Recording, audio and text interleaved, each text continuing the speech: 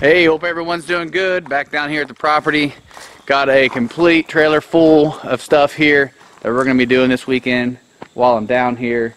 We've got uh, four um, eight foot spruce trees here that we're going to put out by the road for some privacy. We've got some granite rock that I pulled out of uh, Marion, Ohio. Um, a guy was getting rid of it. He knocked down an old house, and this was actually the foundation um, rocks that came out from underneath there. So pretty nice uh, rocks. I'm going to stick those around for the fire pit. Um, we've got the tractor here that we're going to use to do the trees, as well as going off the electric pole, going all the way around. We're going to get trench all the way up to the side there where the electric's going to go in. Um, and then we're going to clean off that area out front, gravel it, and then we'll make our um, fire ring out there. So get all that stuff done. Oh, and I got a swing to hang up, hopefully, if I get time on the front porch. So we can get all that project done here. We're going to try to do some hunting this weekend. The weather's going to be kind of crappy Saturday and Sunday. They're calling for rain. It's Friday today now, and it's beautiful out. So I'm going to try to get all my outside work here done today. And then probably just hang out in the deer blinds and do some hunting um, Saturday, Sunday. So go ahead and get busy. I'll uh, show you guys the results after I get finished up.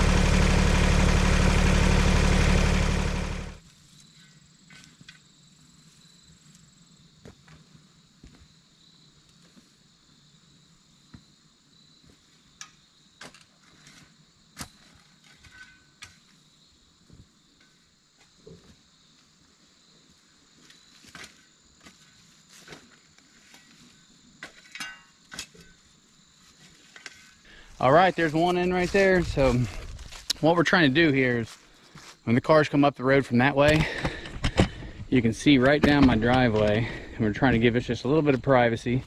Um, so I'm gonna plant these trees um, closer together than what's recommended, just so we can get privacy right now, because they are about seven to eight foot tall. And I'm gonna put four of them just in this real little area right here.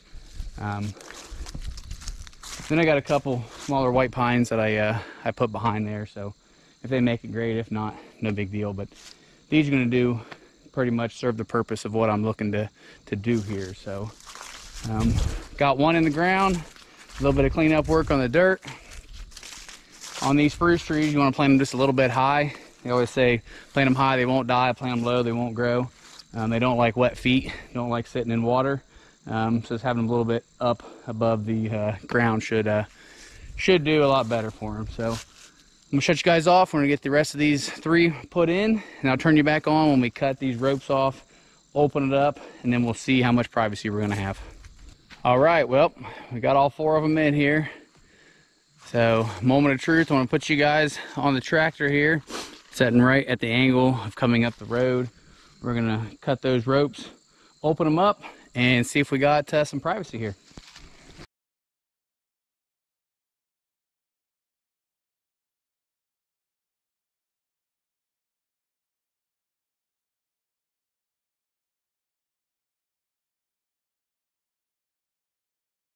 tree's been tied up for a little while, so the branches will drop more. I'd say after a day or two, those lower branches that are up, they'll start drooping, hanging down like normal spruces. But I think they're definitely going to work. Like I say, they're planted a little bit close together just because I wanted privacy right now. I didn't want to have to wait. Um, but within a few years, I mean, they'll be grown into each other and they'll be tall. And we'll have pretty much privacy fence right here. Some people come up the road, they can't see right down into camp. So appreciate you guys watching. I'm going to be uh, getting ready to start digging a trench here. So on to the next project. We'll see you. Thanks for watching.